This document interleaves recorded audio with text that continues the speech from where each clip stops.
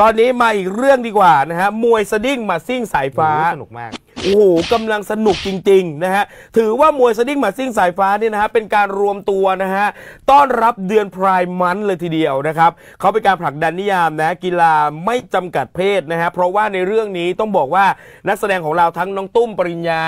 ใช่ไหมฮะคุณแพรรี่จากแย่งซีนเราเนี่ยครับนะฮะพี่มอริสเคคุณจิมมี่นะครับแล้วก็คุณรัศมีแขนี่โอ้โหเขารวมตัวกันในเรื่องนี้นะฮะเหมาะมากสำหรับเนี่ยเป็นเดือนของพรายมันทีเดียวใช่ครับเวลานี้ไม่มีอะไรมากั้นกระแสของมวยสดิ้งมาซิ่งสายฟ้าได้ นี่ สนุกมาก สนุกนี่นี่นี่เมื่อวานเขาซ้อมมวยตับจากนะเออนางเปรี้ยวก็คือธัญญาสยามซ้อมให้กับสายฟ้า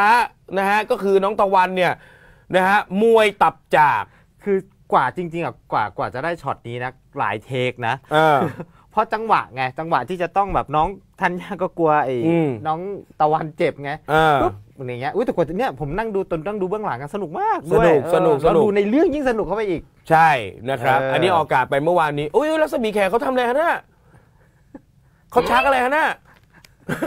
ตัวเขาเหมือนชักชักๆอยู่นะฮะ ไม่ในเรื่องไงในเรื่องอ๋อ ตอนนั้นเขาเข้าใจผิดที่ว่าแบบชักชักอาจจะไม่ใช่ อ่าเออเปิดขวดอยู่เออ ปะโถดูเมื่อวานก็จะหายใจคว่ำ นะครับอะต้องบอกว่าตอนนี้กระแสดีจริง ๆ นะฮะมวยซิ่งเหมือนซิ่งสายฟ้านะฮะกำลังสนุกเลย แล้วก็ ฮาทุก EP จริง ๆ นะครับ โดยเฉพาะคนที่มาสร้างเสียงหัวเราะก็คือคุณรัศมีแขนี่แหละพี่แขรับบทเป็นเจ้าจ้ะนะฮะชื่อเจ้าก็เป็นเพื่อนของสายฟ้าพระเอกของเราครับ นะครับผมความใฝ่ฝันอยากเป็นนักมวยอะไรแบบนี้นะครับ เรื่องนี้เห็นบอกว่าคุณรัศมีแขนี่นะฮะเล่นแบบว่าเหมือนเป็นตัวเองมากอืม ๆนะฮะแล้วก็ยังมีแบบว่าเคยต่อยมวยในสังเวียนจริงมาแล้วด้วย ใครที่รู้นี่ ใช่พี่เขาเคยรัศมีแขนี่เขาเคยขึ้นชกมวยในในรายการหนึ่งด้วยโอ้โหหมัดหนักมากนะ มาก คนนี้นี่ตัวจริงในเตะต้นกล้วยขาดนะครับ รัศมีแขนะฮะ ไม่เขาเป็นนักกีฬาด้วยไงใช่เออ นะครับอะไปฟังความรู้สึกของคุณรัศมีแขดีกว่านะฮะว่ามาแสดงละครเรื่องนี้นะครับเป็นยังไงกันบ้างครับ ครับ เอาจริง ๆก็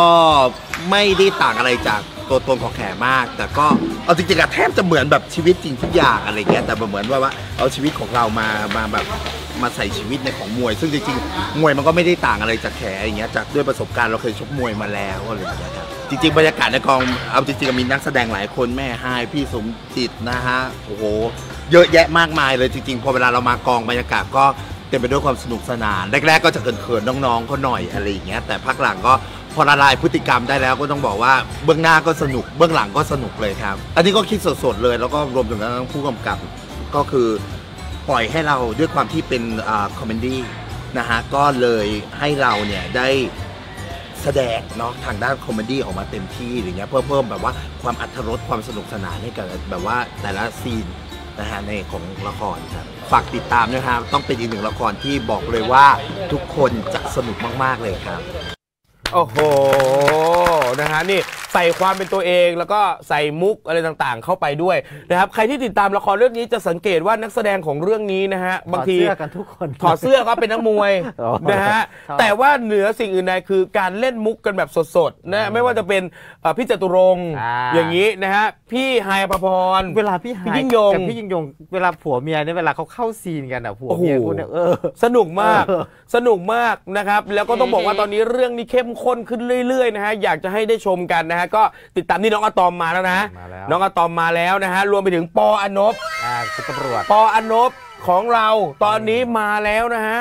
มาแล้วนะครับ จะเป็นมารหัวใจหรือเปล่า มาชอบวารีเหมือนกันนะฮะ คราวนี้จะมาขัดอะไรกับสายฟ้าหรือไม่นะครับ ก็ต้องติดตามกันนะครับ ในมวยสดิ้งหมัดซิ่งสายฟ้านะครับ จันทร์ถึงพฤหัสบดี เวลา6โมงเย็นนะฮะ ทางช่อง 8 หมายเลข 27 นะครับ แต่ใครอยากดูย้อนหลังดูที่ไหนคุณบ๊อบ ครับที่ True ID นะครับ ผ่าน 3 ช่องทางแอปพลิเคชัน เว็บและกล่อง True ID ดูฟรีทุกเครือข่ายครับ ถูกต้องนะครับ วันนี้มีนะติดตามกันได้นะครับ6โมงเย็นนะครับ ใช่ ดูที่หน้าจอแบบสดๆ ผมว่าสนุกมาก ใช่ เปิดช่อง 8 ยาวๆไปเลยตั้งใช่แต่คนดังนั่งเคลียร์มา ใช่ แล้วก็มาดูมวยสดิ้งมาซิ่งสายฟ้าแล้วต่อด้วยลุยชนข่าวโอ้โหนะยาฮะวเพลิดเพลินนะครับเพลิน